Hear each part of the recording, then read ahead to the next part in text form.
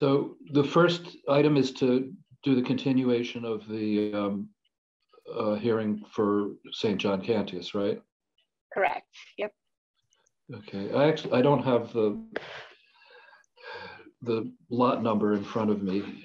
Um, But I, I'll, I'll open the meeting to continue the hearing. If you want to put the, say the lot number. Yep. that- Um, hang on just a second. I had that up and then I, um, it's 32A 171. Okay, and um, I understand we've had a request from the applicant to continue the hearing again. And um, uh, so I guess I'd like to, and first, is there any discussion from any members of the public That's on I'm trying to do right this issue? Well, maybe I could explain a little bit, I think, in terms of the length of the continuation about that, because you don't want to take public comment if you're going to continue the hearing because the applicant isn't here. Right, Um, so the, um, the applicant requested to, con- uh, for one more continuation.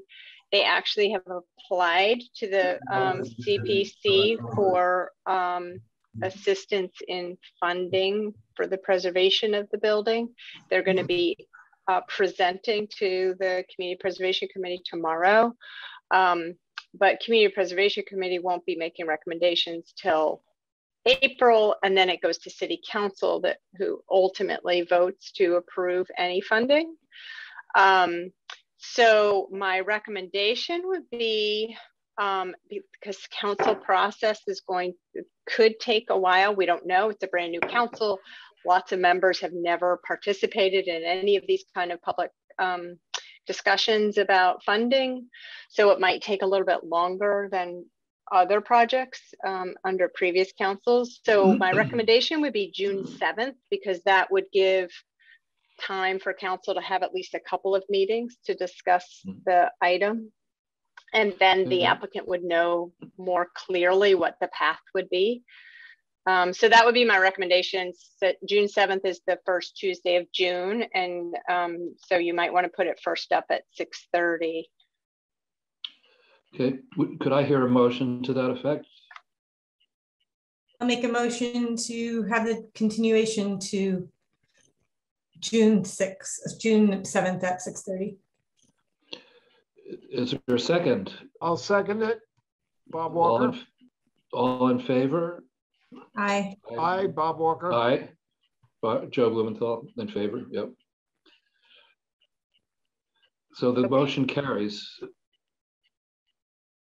Okay, great. and now we, and now Alan takes over, right, to, for the rest of the, uh, No, Mhm. you're gonna be it, you're Oh, gonna chair the entire meeting, yeah. oh, okay, gee. Yeah. Because she has to to go to recuse, she couldn't participate in the next one because um, her firm is representing Oh, the church. okay. So once again, I'm gonna ask you to, um, I guess I, I have to ask if there's any public comment for anything that's not on the agenda. So if there is, please speak up.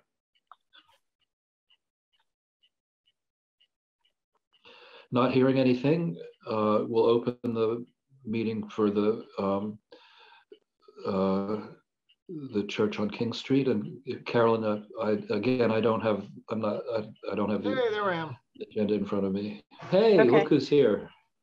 Um, so that's for 101 King Street, uh, map ID 31B 151. It was uh, advertised in the Gazette um, on February 15th and February um, 22nd um, for 6:30 p.m. And it was it's a review a request for review of uh, removal of an architectural element from the roof of the church at 101 King Street. So uh, the next thing then will be for the um, app, the applicant to present uh, the proposal to us. Correct. So if you could introduce yourself and uh, unmute yourself or whatever. Good evening. Uh, I'm Jonathan Salvon with Kuhn Architects. I hope you can hear me. Yeah. Yes. Great. I think we also have um, someone uh, from the parish, and I'm going to guess it might be uh, Father Michael, but it might be one of the uh, parishioners who, who's been working with this. I don't know if they want to introduce themselves at the beginning here or not, but I can see uh, St. Elizabeth Seton Hall. Yes, we're in a room. It's uh, Father Michael, um, Mark DePace, um, Harry Petrucci, and Ed Skrosky. We're all in the same room. Great. Um, so I will I will begin our presentation, um, and uh, and you know feel free to, to ask questions as we go along. Um, but uh, Kuhn Riddle has been uh, uh, hired by uh, the parish to uh, do a uh, study, um, which we're, we've mostly wrapped up on their sort of second phase of, of work at the uh, King Street site. Um, there was a previous phase we weren't involved with uh, that that uh, made site improvements. Um, now they're beginning to focus on the the building envelope, the exterior of the building. Um, and we have uh, done a study to explore the, the various costs and, and work associated with, with that. Um, uh, as a partial outcome of that study, um, one of the things that was, was explored was uh, how to um, how to address the needs on the, the current steeple um, or bell tower. Uh, it, it needs a fair bit of work. Um, it doesn't actually contain a bell, I should probably note. Um, and the, the, parish is considering not, uh, instead of um, repairing it, removing it. That, that is why we're basically here tonight, is to, to talk through um, the, the proposal to remove the bell tower. Um, to repair the bell tower uh, will cost approximately $180,000. Um, another option that could be explored would be to replace the bell tower. Uh, that would be closer to $250,000. Um, it is a, a wooden structure uh, that is original to the uh, the church from a, I think it was about 1915 or so, um, and uh, like much of the rest of the church, it does need repair. Um, uh, setting aside just for a second the bell tower, the the other things that we've been exploring, just so that everyone kind of has the broader scope of the of the work, is um, replacing the roof. The roof needs replacement. The gutters need repair and or replacement. Uh, there's a fair amount of um, uh, just general brick pointing that needs to be done. Um, and then for anyone who's kind of walked along King Street, you've probably noticed that on the front facade, the west facade, uh, there is uh, there's some lovely terracotta columns um, that are severely weathered. The glazing has begun to crack off. So we're going to be uh, hopefully replacing that as part of this larger project, uh, replacing them in kind so that they will look as they do today. Um, and then there's also going to be work uh, to um, uh, restore the stained glass windows um, and put new plexi, uh, I don't excuse me, take off the plexiglass panels that are there now, restore the windows, restore the woodwork, and put new um, uh, tempered glass protective uh, coverings over the, the stained glass. Um, so I, I'm going to move down to some images. Um, but as I'm doing that, oh, I, you can't see what I'm putting I've got on my screen yet. I would like to share that if that's all right. I don't know if someone needs to do that first. Allow me to, but I'm going to try. Let's see here. This should be the right one. Do folks, what do folks see? You see uh, the, the, you see the, the title? We can see the here? proposal on the page, yes. Great. So I'm just going to scroll down in this. Bear with me for a moment. Um, uh, this is an excerpt from the, the, the structural report that our structural engineer, um, uh, Gibble Norden Champion Brown out of uh, Connecticut did. Um, that's where this image came from.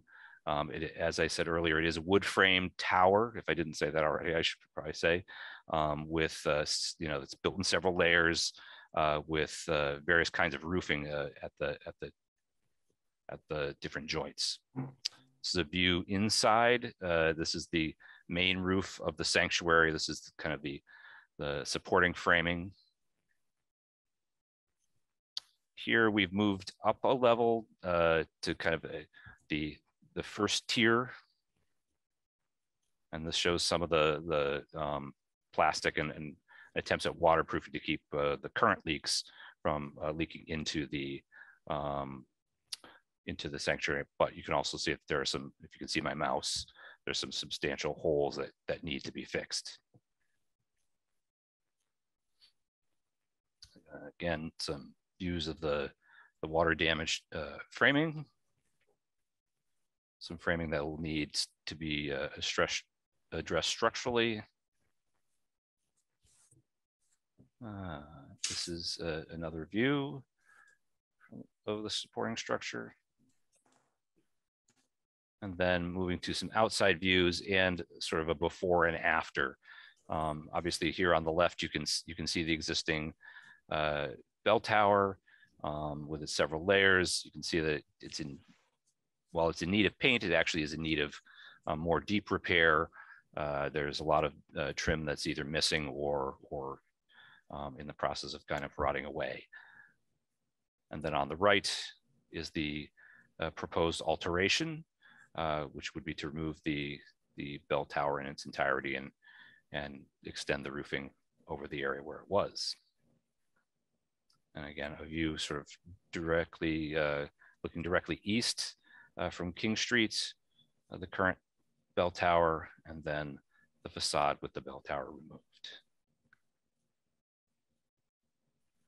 And again, just to, to touch on some of the other work that we are, or that the parish would be doing, um, as the project moves from a study phase into a construction phase uh, is to repair um, the terracotta um, that's, that is up high, repoint the brickwork in various areas along the sides of the building as well.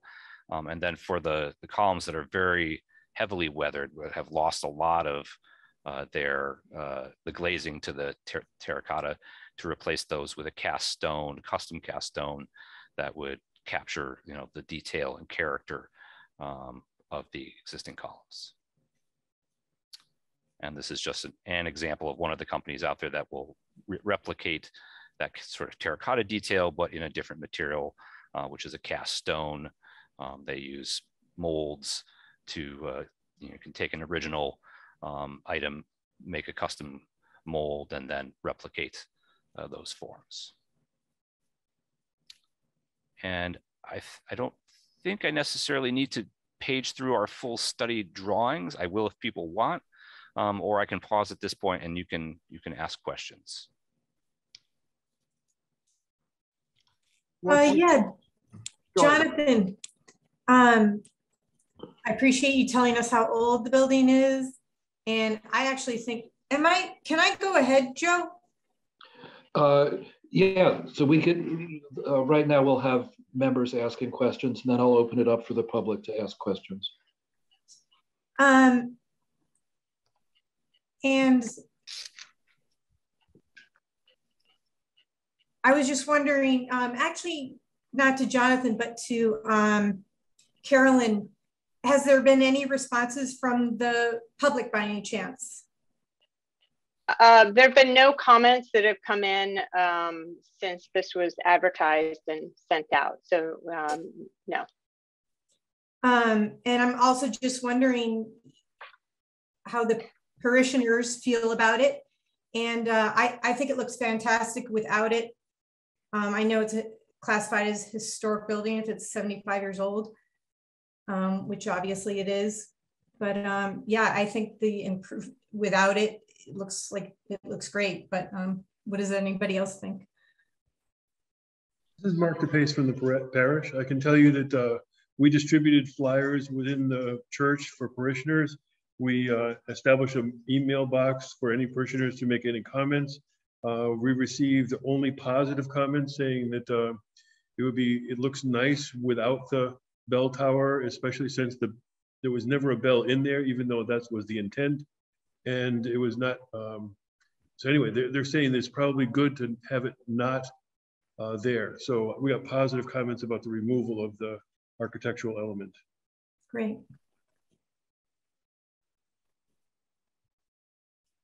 What's what's the roofing material now on the roof that has to be replaced? It's it's an asphalt shingle. At some point in time, I'm sure it was slate because there are some little um, lower roofs uh, towards the east end of the building that have a little bit of slate on them. Um, but the current main roof is is asphalt and it's proposed to be replaced in asphalt.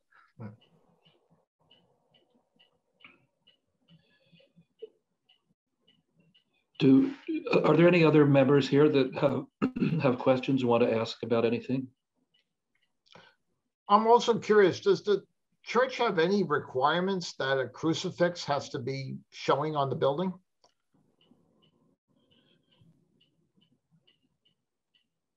Um, if you notice, that even if you remove the bell tower at the ridge in the front of the church, there is a built-in cross. It's pretty much obscured um, because the bell tower just overshadows it, but there is a, a cross there.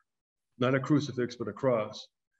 Oh. And I, I don't know, Father, you can speak whether or not we absolutely have to have a cross there, but irrespective, there is a cross there. You can see that in that picture.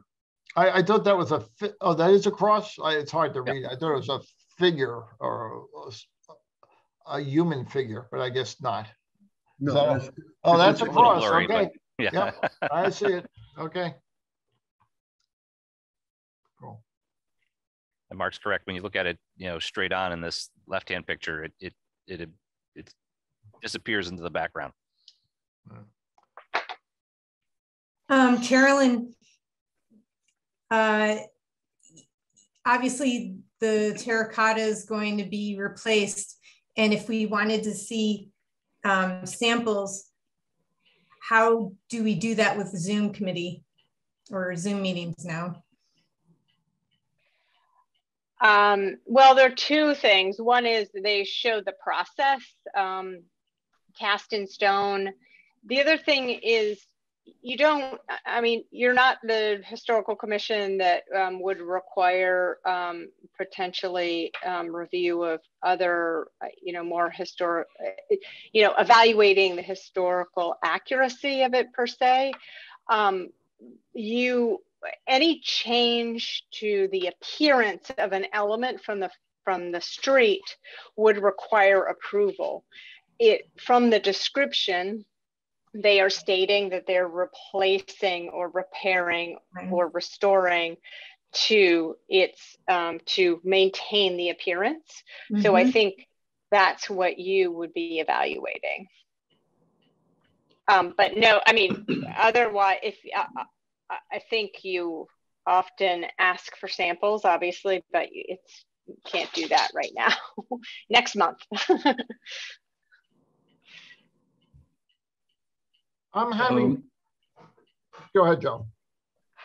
I- Carolyn, I, this, the historical commission does not get to weigh in on this because it's central business, is that correct? That's correct. And and there's no demolition, so there's nothing there's nothing in their jurisdiction at all. It's just central business architecture.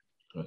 But I'm just saying, as a comparison, you know, if there were a building within, say, the Elm Street district, where that the analysis of the exact material might be a little bit more um, critical. Yeah, I'm having kind of like an ideological issue with this because the Central Business Architecture Committee, I guess, is not really an historic preservation commission or Right. committee at all.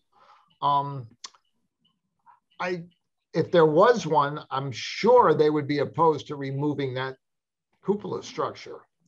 Um, I don't feel like it's our responsibility to help out the church in terms of expenses, since this would be less expensive to remove it than to restore it. Um, but it is part of the historic context of our town, or a city, and I, I have very mixed feelings on taking it off versus restoring it. Um, I just have a hard time dealing with that. Uh, I internally, I feel like it should be repaired and left as part of the original structure. The flip side is I understand economy and those issues. Um, I'm kind of on, you know, I'm, I'm in the middle right now, you know.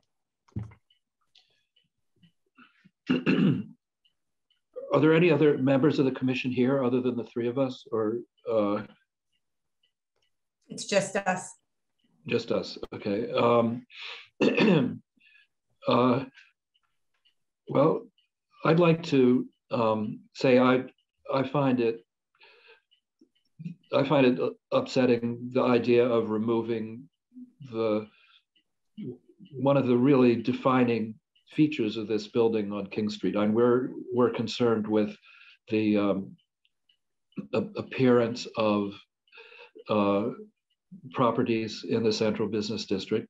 And one of the most important things is that these these properties have uh, um, architectural features that make them seem distinctive and and to remove that from this building makes it a lot less distinctive um, so i'm uh, uh, uh, i think that has i think that fact has to be considered in our um, thought process for this uh, but if if um, if nobody else on the committee has anything to say or has any other questions, um, I'd like to open it up to members of the public to make comments.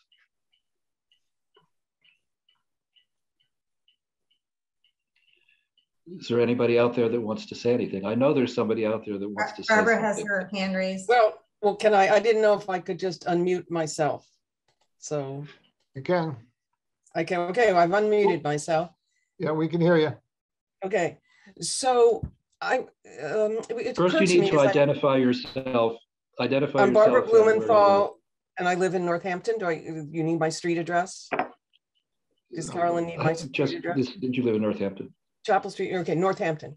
And it occurred to me as I was listening to what's been going on so far that ironically, at one point, this building and the lot was under the purview of the historical, the Northampton Historical Commission on which I serve.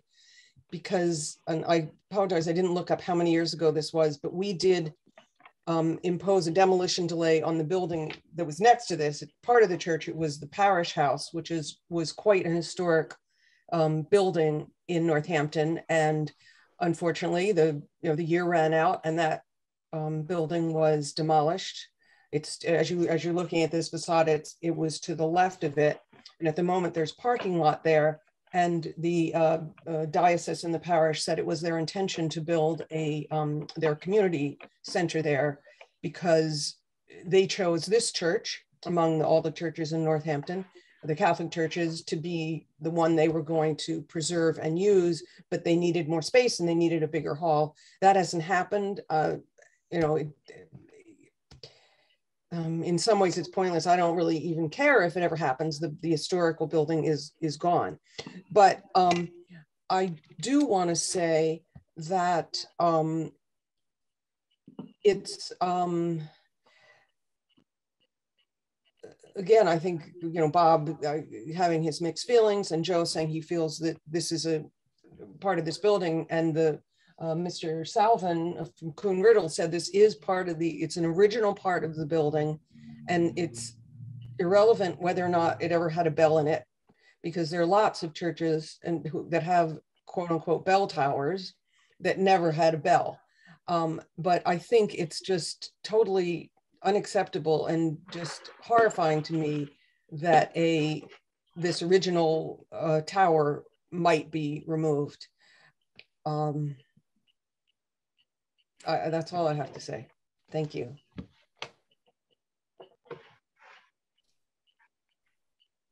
There's no one else present from the church that would like to make any comments? You took the words right out of my mouth, Bob. I just see if anyone's out there, you know? Um, obviously, if there's no other comments, we should put together a motion and make a decision. Apologize for the delay, but we're discussing it internally in this room. And we would like to comment uh, about Barbara's comment is that we're still trying to proceed along the whole master plan that would include the uh, community center on the left. And, um, you know, I, I, think that it would all fit in very nicely as soon as we get that done. It's just that because of uh, monetary reasons and many other reasons that it's um, proceeding at a pace that is a lot slower than we ever anticipated. Uh, the overall plan that was put into place many years ago is still in play. This is the fir- this is the second step in at least a three-step process. Is that not correct, Mark? Yes, as a matter of fact, it originally was conceived of as three steps, but I think it's going to, because of the magnitude of the work, it's probably going to be put into five phases. Um, and this is basically phase two.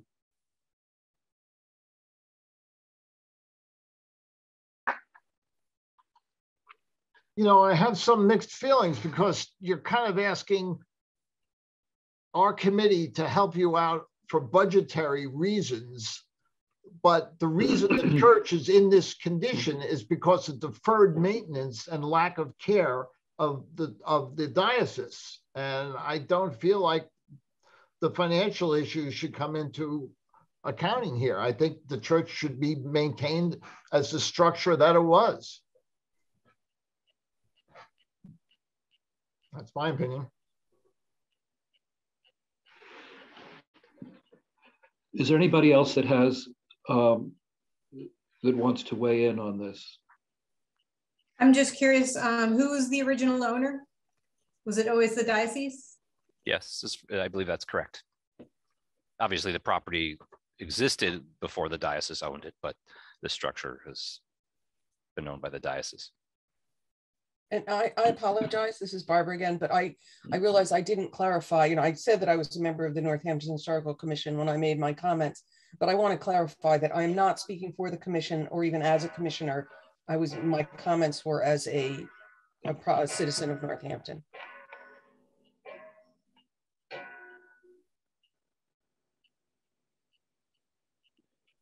Um, if nobody else has comments, is it, Carolyn, is it now appropriate to close the meeting and, and uh, um, Sure, if you're ready, you with- can make a motion to close. Mhm. would somebody like to make a motion to close the public meeting? I'll make a motion. For all second. Okay, all in favor? Aye. Aye, Aye. Bob Walker. Melissa. Okay. Um, does, do we want to talk about this anymore, or does one of you two want to make a motion?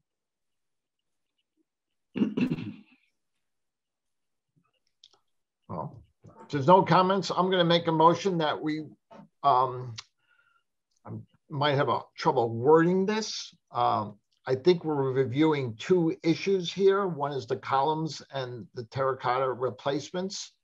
Uh, I make a motion that we allow the replacement of the front columns and terracotta piers with cast stone, but that we will not allow the removal of the cupola structure.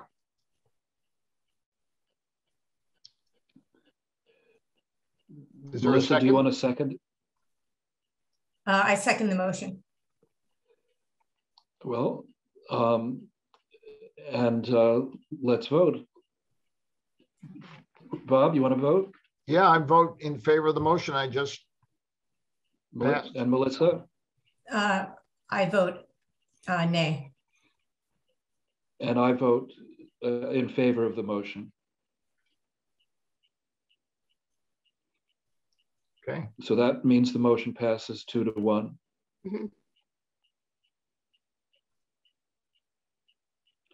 okay. Um, Carolyn, do we have any other business?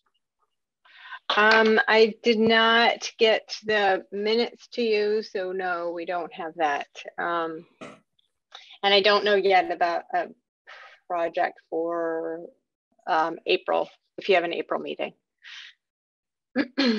so no, I do not have anything else. In that case, I would entertain a motion to adjourn. I'll second. Why enter, no, you, you make the motion. So I can't make motions because I'm chairing the meeting. So I'll make a needs motion make to a adjourn the meeting. I second. And all in favor? Aye. Aye. okay. And I think we need a larger committee.